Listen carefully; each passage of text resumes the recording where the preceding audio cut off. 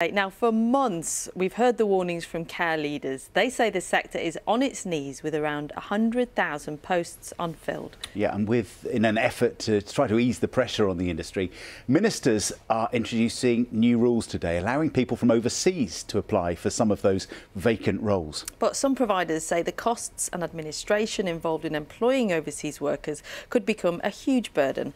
Zoe Conway has been to one care home to find out what the changes mean for them. At the Griffin Lodge care home in Stockport, they're baking. The residents here have autism or learning disabilities. Many have complex physical needs. In short, they need intensive support from care workers they can rely on. Yet, as manager Karen Loxton explains, this care home is short staffed. Just talk me through the board and what are these red circles? So, this is our rota for this coming week which staff we're expecting in, which days. The red circles are actually where we've got vacancies and we're still trying to get some cover. It's the beginning of the week, you've still got vacancies this week. Does this yeah. stuff keep you awake at night? It does. And I'm here at, you know, seven o'clock in the morning, half seven, to make sure the staff are in. And if they're not in, then we're on the phone. Can you come in? Can you cover? Can you do a bit extra? It Can sounds stressful it needs, the people that we support need this.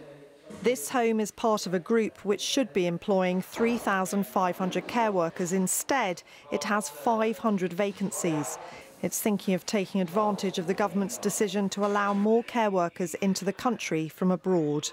I welcome anything that will help ease the recruitment situation that as a sector we find ourselves in. So any support every little bit helps. But the decision is not straightforward. Under the government scheme, care companies would have to pay overseas staff £10 10 pence an hour, which is more than some companies pay their UK resident workers. The government announced that immigration rules would be relaxed for care workers on Christmas Eve, and care companies would need to apply to the Home Office for a licence.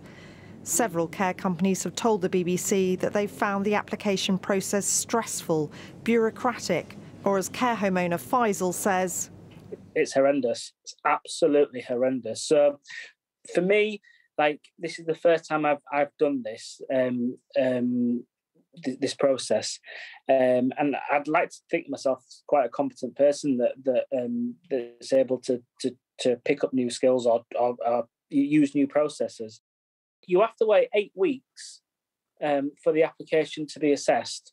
Once the application is assessed, that doesn't mean that you're you're um, getting the staff there and then. That's just you getting the license. Then you you might have to wait another six weeks, six to eight weeks to get the staff.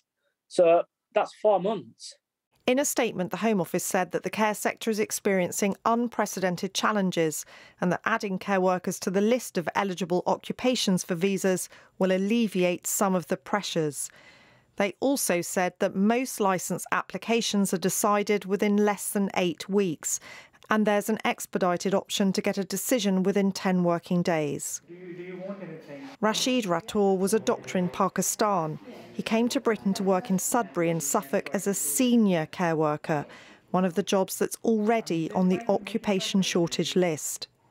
When you work in, with these people uh, uh, who are old and in need of you, you actually tend to uh, get closer to them and you tend to know them more. And you tend to know the, their feelings when they need their loved ones when they're not around and you have to be everything for them.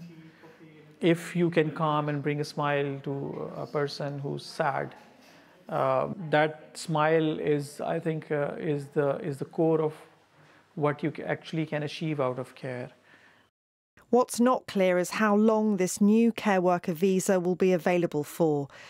Will it simply alleviate short term pressures, or could it become a permanent solution to the sector's staffing crisis? Zoe Conway, BBC News. Well, we're joined now in the studio by Mark Adams, who's from Community Integrated Care, and that, that's one of your care homes, is it, that, that Zoe's reporting yeah, from? Um, so, a, a, big change potentially this, that you're able to recruit from abroad more, that, that care workers go onto this list. But what, what's the reality? What are you thinking about? Well, I, I guess to start with a positive, you know, there's 1.5 million people in the UK working in social care, looking after a similar number of people that need support. So we need access to labour markets where we can attract values-based colleagues who've got the um, personality, the talent to do this kind of work. So on that basis, this is good. The problem is that it should have been there from the beginning. You know, we should never have had social care workers referred to as low skilled, which is what Priti Patel did when she excluded them the first time. Um, and the other thing is that they're, they're putting a barrier of £10 and 10 pence an hour to, to fulfil an eligibility for this. And that's the level as a minimum that we should be paying people in the UK, irrespective of going abroad and potentially causes tension between workers. If you have a foreign worker coming in and earning more than you, it might make you, again, in an already pressured job, yeah. think twice about whether it's worth it. Well, I mean, most local authorities pay about £8.91 91 pence an hour to allow somebody to work in social care if you're bringing in somebody on £10.10, you know, that inequality in a workforce where you've got a small, tight team. I mean, on Griffin Lodge there that we've just seen, I think there are 12 people supported with a similar number of staff. Um, and if you were to suddenly say there are three or four people coming in paid more than the others, and the others might have been there for five, ten years, where, where is the equity in that? So what does that mean for for you in terms of paying staff? I mean, you know, how much you, you need staff, you need people, but yeah. but paying out more money is has a massive impact. Well, I, I think this is what really the sector is calling out for. I mean, this is a good initiative. It does give us something that we can think about. But the reality is that we need a workforce plan for the whole sector. We need something that has a vision for five and ten years hence.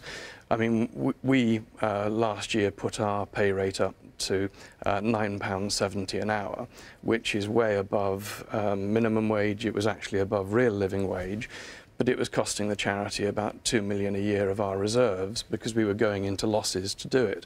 And even with that, we have 500 vacancies on a workforce of 3,500 on the front line, and we've got about uh, another 500 who are off sick at any one time. So we're desperate for the right people coming in, and we just need the government to support local government and say, we'll put the money in that these people deserve.